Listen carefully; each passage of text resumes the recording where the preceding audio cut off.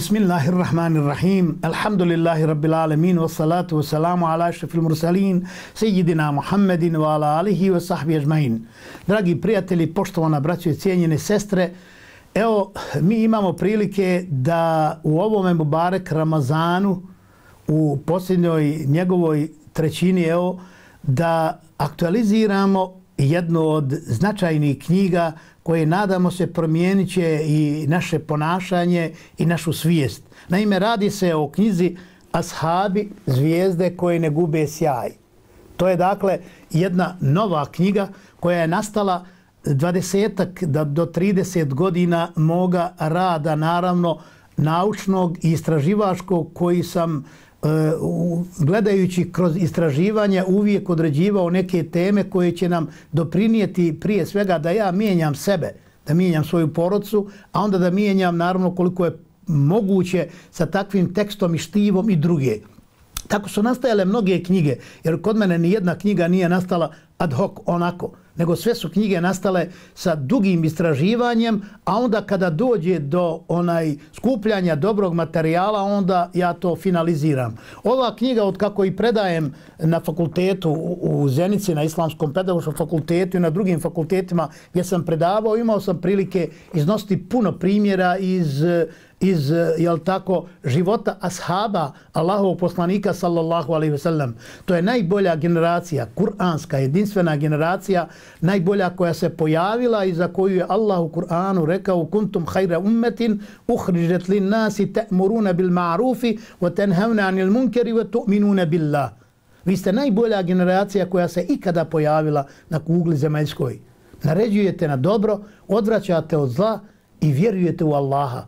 To je bila ta prva generacija za koju svi mu fesiri, pa Ibni Kesir i brojni drugi kažu da je to jedinstvena kuranska generacija koja se više nije ponovila na kugli zamaljskoj. Ali zato kažu i upozoravaju i svako od nas koji bude na njihovom putu i bude radio kao shabi i on pripada toj reprezentaciji posebnoj Allahovoj deputaciji na ovome svijetu, a to je ova kuntum hajre ummetin. Vi ste najbolja generacija, najbolji narod, najbolji ljudi, najbolja dakle deputacija koja se pojavila na ovome zemaljskom dijelu svijeta. I evo mi imamo sreću da je ovih dana upravo evo juče zajedno sa knjigom Omer ibn Abdul Aziz u izdanju izdavaške kuće Hedef iz Zenice izašla i ova prelijepa knjiga Ashabi zvijezde koje ne gube sjaj. Ovim samo želim kazati da su oni najodabranija generacija, znači da od njih možemo puno toga naučiti i ne treba izmišljati toplu vodu, nego gleda, treba gledati kako su oni radili i gradili, da bismo i mi radili i gradili, da bismo osvojili ovaj svijet, jer su ashabi, dakle, e, pola poznatog svijeta tada držali u rukama upravo zahvaljujući tome što su slijedili poslanika sallallahu alaihi ve sellem, prije svega Allahovu riječ, a onda poslanika alaihi salam što su realizirali taj Allahov koncept šarijata na zemlji, što su pokazali kako može čovjek biti sretan i na ovome svijetu, uspjeti na ovome svijetu, ali uspjeti i na budućem svijetu, jer ćemo vidjeti koliko je samo njih zadobilo epite da će biti dženetli od strane poslanika sallallahu alaihi ve sellem. U ovoj knjizi da ne duljimo puno o ashabima, jer se o njima može pričati danima i mjesecima, ja ću pomenuti samo nekoliko detalja vezano za ovu knjigu. Imamo nekoliko knjiga koje su objavljene već na našem jeziku i na arapskom jeziku jeziku brojne knjige koje govore o ashabima. One uglavnom govore o njihovim biografijama i onda govore o njihovim eh, raznim događajima. Naravno, ja ovdje u ovoj knjizi sam uspio, zahvaljujući Allahu Đalešanhu, podijeliti ovu knjigu u, neke, u neka poglavlja, ali ta poglavlja odražavaju stvari, ilustriraju e, sklonosti ashaba prema nečemu. Tako da sam ovdje, na primjer, e, u prvo uvodnom dijelu govorio o ashabima u Kur'anu, sunnetu i percepciji islamskih velikana. Pa ću vam u nekoliko samo prijeći sadržaj da otprilike vidite šta imate u ovoj knjizi. Dakle, ashabi u Kur'anu, sunnetu i percepciji veliki imama kao što su imam Ebu Hanife, Malik, imam Šafi, Ahmed i drugi velikani, šta su kazali u ovoj časnoj grupaciji ashaba. Zatim o e, Ehlul Bejtu, poroci poslanikove, ali salam, o njegovoj djeci, o njegovim unucima poznatim i o njegovim ženama. A onda sam uradio jedno poglavlje o ashabima kojima je zagarantiran džennet. Pa sam govorio o njima, njihovim sklonostima. Imaju oni kojima je destorca zagarantiran džennet spomenuta četvorica halifa i još preostala šestorica, a onda učesnici bedra i prisege i zadovoljstva, njima je svima zagarantiran džennet. A onda spominje se u vjerodostojnim hadisima, ja sam koristio ovdje isključivo vjerodostojne hadise da iznesemo one ashabe koje je poslanik ali sam vam spomenuo, a nisu među ovima o kojima smo govorili, nisu desterce jel tako, onaj e, ashaba kojima je Allah zagarantirao dženet odnosno njegov poslanik, ali salam u jednome hadisu, nego sam spomenuo gdje je poslanik, ali salam pojedinačno neke od njih spomenuo i kazao sada će vam u džami ući jedan dženetlija, pa ga je spomenuo, to je bio Abdullah ibn Salam radijallahu talanu, ili kada kaže za Bilala, Bilala ja ulazim u džennet, čujem klepetanje tvoji nanula, zbog čega si ti evo ušao u džennet, a ja idem iza tebe, pa mu onda Bilal kaže, ne znam Allahov poslaniće, ako nije zbog toga što kad god imam vremena, a nemam drugi obaveza, uzmem ponovo abdes, frišak i klanjam dva rekata namaza, pa mu je poslanik a.s. rekao, e to je, zato ćeš biti u džennetu između ostalog. Zatim sam govorio o hafizima među ashabima, hafizima, među ashabima koji su bili prvi nosioci Allahove knjige koji su je naučili na pamet. Zatim najveći prenosioci hadisa među ashabima, tako da imamo sedam ashaba koji su prenijeli preko hiljadu hadisa od poslanika sallallahu alaihi ve sellem, a onda idemo na ashabe poznate po daveskom angažmanu. Šta su na davi uradili e, ashabi da nama budu urnek da i mi se postaknemo da radimo na tom planu. Zatim ashabi poznati po hrabrosti. Ovdje, naravno, nisam iznosio puno biografskih podataka. One najosnovnije detalje o ashabu, a onda sam prelazio odmah, što bi Arapi rekli, na zubde, na onaj kajmak koji se izvuče odatle, a to je suština našeg djelovanja. Šta je, šta je trebalo da potakne današnje muslimane nego jedna hrabrost koju su ashabi imali i pokazali? Pa ćete vidjeti ti prelijepi primjera gdje vam pamet stane, gdje vam oko zasuzi. Dok sam radio u dubokim noćima, znao sam noći da provedem ne spavajući, jer kad se zaljubi insan u ovakve insane koji su bili primjer nama, koji su živote žrtvovali na planu odbrane islama, na bedemima sunneta, onda u istinu ne možete ni vi spavati i koliko puta, to je stotine puta su suze same navirale, jer ne možete da vjerujete, ne vjerujete, ne možete vjerovati kakva smo mi generacija u odnosu na te ljude. Ne možete da vjerujete da su to bili ljudi, vi, vi gotovo zamislite da, da su to bili neka druga bića, a, a oni su stvari bili ljudi. Jer su se trudili da ono što im je Allah dao, tu ljepotu, te blagodati koje su imale, da i predaju Allahu, kao što ćete vidjeti, e, pored hrabrosti, To su primjeri, dakle, izvađeni, izvađeni, boldirani ovdje, da čovjek kad ih čita, jednostavno sa jednog na drugog ashaba prelazi sa sve hrabrim, smionijim činom, sa njegovim ljepotama, dobrotama, sa njegovom tom žrtvom, požrtvovanošću, da čovjek ostane bez teksta i da ga to potakne Ako ne može bar biti taj kao neko od njih, šehid, veliki gazija, da bar bude pomagač svoje vjere, da ne bude odmagač svoje vjere, da ne bude parazit u jednoj zajednici, nego da se trudi da bude što bolji. Zatim fenomen drežljivosti kod ashaba, kako su davali pored brojne ashaba pola imovine, Ebu Bekr čitavu imovinu i kaže, a šta si im ostavio, pita ga poslanik sallallahu alaihi sallam, A Ebu Bekr radijallahu ta'ala anhu kaže Ebqajtu lahumullahe wa rasule Ostavio sam im Allaha i njegovu poslanika sallallahu alaihi wa sallam. Pogledajte tevekula, pogledajte svijesti o slanjanju na Allaha. Pogledajte mi drtimo uvijek kad treba neki dinar dati neku marku za zajednicu i za naše opće dobro. Sve gledamo da samo sebi prikupimo Pogledajte koliko su ashabi željeli samo da osnovne namirnice donesu do porodce, a sve ostalo su dijeli na općem dobru. To je ono što treba da nas potakne. Zato je nemoguće čitati ovu knjigu, a ne mijenjati sebe, ne mijenjati svoju poruci, ne mijenjati društvo u kome se nalazimo. Zatim ashabi poznati po strpljivosti i skromnosti. Vidite koliko su bili strpljivi i koliko su bili skromni. Pa mi zbog toga mislimo da svi ashabi bili siromašni. Ne, nego su oni skromnosti imali, ali su davali iz skromnosti, iz bogobojaznosti, iz, e, kako bi rekao, želje da i Allah primi u dženneske perivoje, oni su davali. To ne znači da nisu bili bogati. I zato imate jedno poglavlje koje sam nazvao multimilioneri među ashabima multimilioneri među ashabima. Među njima je Hatidža bint Huvejlid, Ebu Bekr Asidik, Osman radijallahu talanu koji je znao da kupi 950 deva i 50 konja da ih pokloni i da hiljadu zlatnika stavi u krilo poslanika sallallahu alaihi sallam kada su trebali da idu u bitku na Tebuk.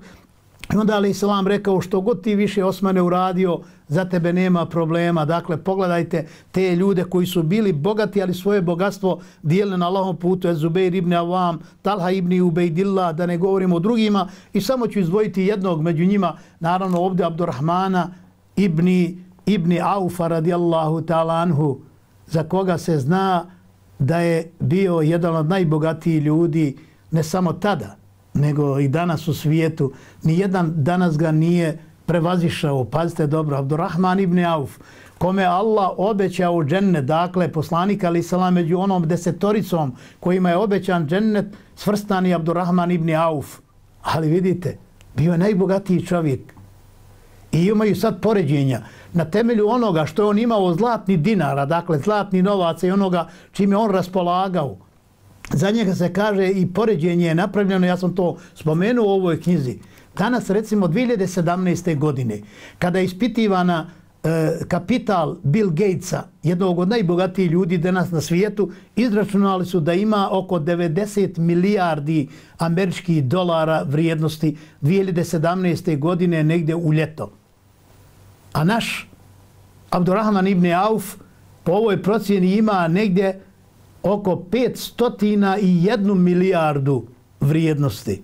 501 milijardu u odnosu na 90 milijardi od Bill Gatesa. Što znači da je 5 do 6 puta bio bogatiji od Billa Gatesa ili nekog od najpoznatijih danas i najbogatijih ljudi na svijetu. To su bili ashabi, ali zato od sebe nije imao ništa. Što god bi dobio, on je to davao sljedećim, pomagao svoju zajednicu, pomagao naravno svoju porodcu, ali prije svega opće dobro. To je ono što mi nemamo kod ovih velikana danas u svijetu koji pune samo, jel tako, o, ove što mi rekli, bankovne račune, nego se ovdje radilo o tome da su sve dijeli kao što je bio Ez-Zubeir ibn Al-Avam, koji je imao hiljadu radnika samo koji su nazirali njegovu imovinu. Hiljadu radnika.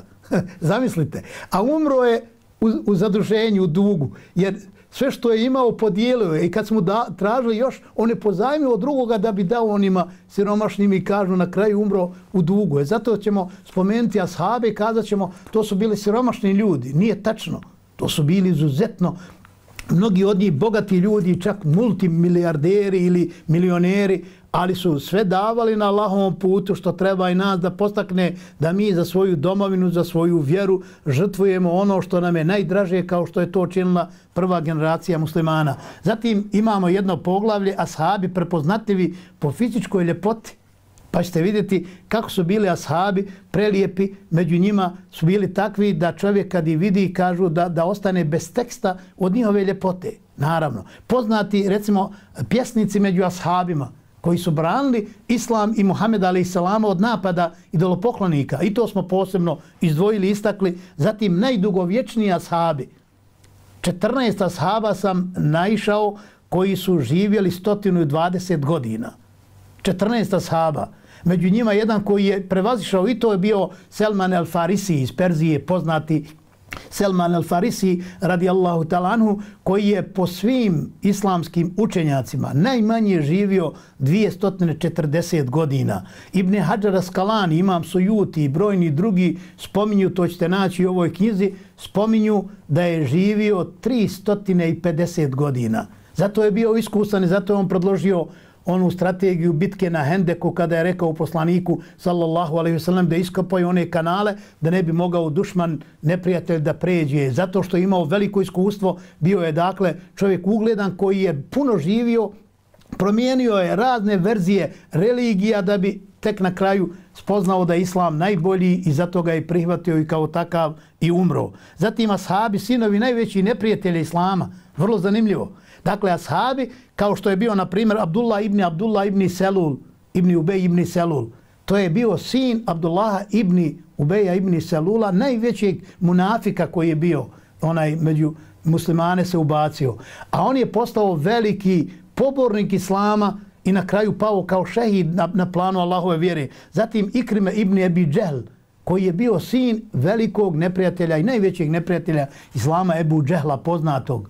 To je njegov sin koji je prihvatio Islam i koji je kazao poslaniku, ali Islam, dosta sam se borio protiv tebe i u svoj mjetak ulagao protiv tebe Islama. A od sada Muhammede, tako mi Allaha, duplo više ću ulagati da branim tebe i da branim Islam. I poginuo je u bici, u bici na Jermuku kao šehid 12. godine po Hidži i preselio je kao šehid, dakle, sin najvećeg neprijatelja. Šta nam to govori?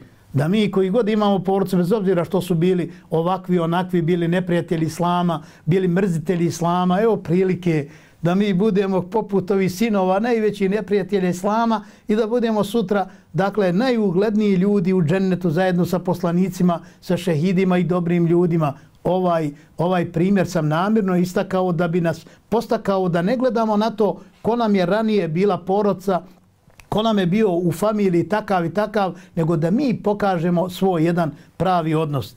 Zatim e, sam dvije zadnje e, ove dva odjeljka ostavio za žene ashaba, žene iz prve generacije muslimana i njihov doprinos davi. Jedno sam naveo žene koje su na tom planu najviše uradile pored dakle te hrabrosti koje su pokazale, bilo je žena koji su pokazale hrabrost više od muškaraca, na kraju prva žena, nije prvi muškarac bio šehid, nego prva žena je bila šehid. Prva osoba koja je prešla na islam nije bio muškarac, opet je bila Hazreti Hatidža. Sumeja je prva poginula na Allahom dakle putu. Prema tome žene su pokazale svoj kvalitet i pokazale da nisu ništa manje vrijedne od muškarca, nego naprotiv rame uz rame su one podržavale Allahovu vjeru i njihov doprinos davi, vidjet ćete, među sahabikama koje su širile munjevito Allahovu vjeru, a onda na kraju imate posljednje poglavlje koje sam dao naziv doprinos žena hadisu i hadiskoj znanosti. Koliko su žene uspjele da doprinesu da se riječ Allahu poslanika sallallahu alaihi ve sellem proširi, da se manira među ljudima i doprinile su ovom razvoju koji imamo među muslimanima. Ova knjiga ima 350 stranica i uistinu je obradila najznačajnije detalje vezano za naše ashabe. Ja sam gledao da to izvučem one od najljepših zlatnika ili ovi nakita, dragulje koji će svijetliti nama u ovom jednom ovakvom mrtvilu i ovoj jednoj tami 21. stoljeća u kome se nalazimo opravani sa nepravdom, opravani sa kukavičlukom, opravani sa špioniranjem, opravani sa raznim, kao što vidite, negativnosti, anomalijama, da na neki način ashabi budu ti pokretači ponovo našeg, jel tako, dijela. Kada govorimo o poslaniku, ali selam obično kažemo, on je bio poslanik, njega je Džibril Emin upućivao, njemu govorio, zato je on bio bolji od drugih. Ali mi zato iznosimo generaciju koja, kojima Džibril nije donosio objavu njima, nego poslaniku, ali selam. Oni su bili kao i mi, dakle, ljudi od krvi i mesa. Kako su oni mogli postići ovakve briljantne rezultate? Evo prilike da to naučimo i zato ova knjiga bi trebala da bude prijatelj u svakoj kući. Ona bi trebala da uđe u svaku kuću i da pomalo iščitavamo svojoj djeci ono što se dešavalo u tim generacijama koji su pokazale svoj pravi odnos prema Allahu njegovom poslaniku sallallahu alaihi ve sellem. Ako bude nekoga interesiralo gdje može naći ovu knjigu, može naći u izdavačkoj djelatnosti HEDEF iz Zenice. Dakle, može naći tu, imate strancu Hedefovu, možete se javiti, a ukoliko neko želi, naravno, pogotovo ko je ovdje u Zenici bliže, može i kod našega voditelja naše televizije, vlasnika televizije Bilala Isakovića, dakle u ovoj našoj MLA TV dakle, televiziji koja uvijek podržava ove naše projekte, možete slobodno i kod njega, jer ćemo jedan dio knjiga ostaviti i kod njega da možete eventualno nabaviti kada budete prolazili ili kontaktirali sa ovim našim uvaženim Bilalom i možete od njega slobodno dobiti. Dakle, a možete i u raznim, naravno, knjižarama kada sutra budu knjige dostavljene, posebno u knjižari Grabus u Sarajevu s kojim naravno sarađujemo, već odavno možete pronaći ove primjerke, pa onaj ko je u Sarajevu neka navrati do Begove džamije, do e, knjižare Grabus i tu će naći e, a sve ostale detalje imat ćete naravno ovdje napisano u ovom našem videu, zahvaljujući našem Bilalu i njegovoj požetvovanosti. Neka vas Allah uputi da vam svaki način E, E, da bolje živite, da se kutarišemo svi ovi belaja, iskušenja i molim Allaha Želšanu da svi zajedno sljedeći poslanika, ali salam, pogledamo i analiziramo i ovu prvu generaciju muslimana i da na njenim temeljima i mi učvršćujemo svoje temelje i mijenjamo našu lijepu Bosnu ponosnu i naše porodce. Ekulu kavli hadza, wa astakfirullahi li valekum, wa sallallahu ala sejidina Muhammedin, wa ala alihi, wa sahbihi ajma'in, wassalamu alaikum.